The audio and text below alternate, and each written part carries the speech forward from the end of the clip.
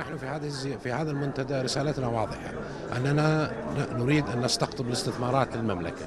الزمن السابق يعني عملية الاستيراد والان نريد أن نستخدم أموالنا في بلدنا.